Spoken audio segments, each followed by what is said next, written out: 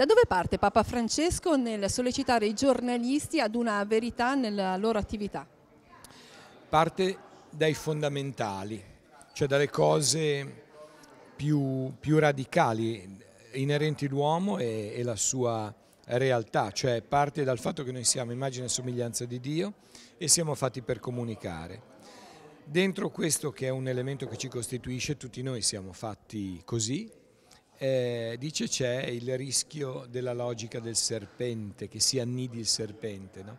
E qua allora parte da Adamo ed Eva, ma non è un modo di dire no? partire da Adamo ed Eva, parte proprio da loro per indicare come ci sia il rischio di lasciarsi contagiare dalla notizia falsa e questo poi declinato nel mondo della comunicazione diventa pericoloso perché può indurre eh, tutto quello che viene dalla falsità, mentre il vero è fecondo di bene, il falso è fecondo di male tutto il messaggio del Papa in questa giornata delle comunicazioni è veramente ehm, esaustivo e mette proprio le mani nel piatto della nostra professione. La cosa che forse mi ha colpito più di tutte sono, le cose sono due.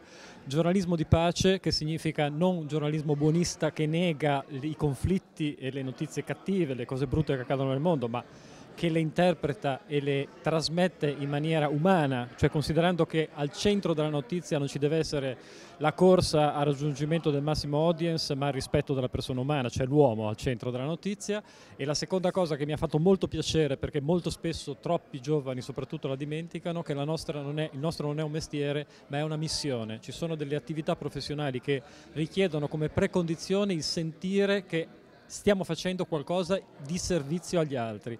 L'attività giornalistica non può essere svolta in maniera responsabile se non viene sentita come una missione.